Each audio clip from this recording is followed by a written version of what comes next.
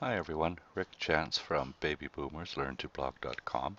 Today I just wanted to talk to you about setting up a text widget on your website, on your WordPress website. So here's my site, Baby Boomers Learn to Blog, and what I'm going to do is I'm going to go up here to the drop down and go right to the widgets, and that will take me inside my dashboard and you'll see that my widgets are here, my available widgets, and just how I've got everything set up.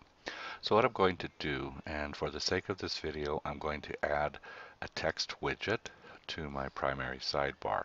So what I need to do is scroll down to the bottom, find this one, the text, and I want to put it up there. I've already opened up my primary, so you need to do that first.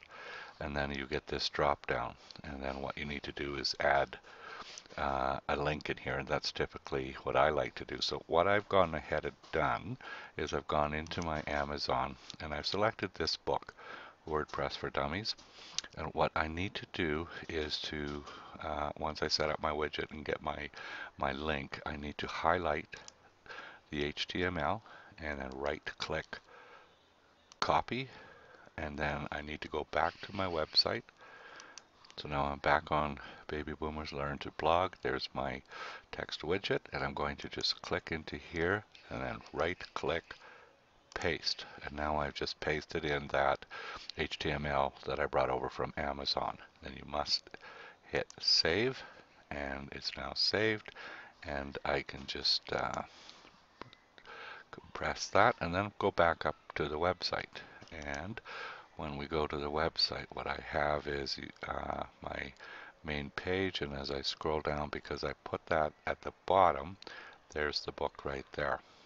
So I've taken that HTML from web, or sorry, from Amazon, and I've pasted it in here. When I click that, it takes me off of my website and over to Amazon, and there's the book, and then that's how I can go ahead and purchase this. Now, if I was a visitor to the website and wanted to buy that book. So um, really easy to do. Just get comfortable playing with your widgets and you'll be an expert in no time at all.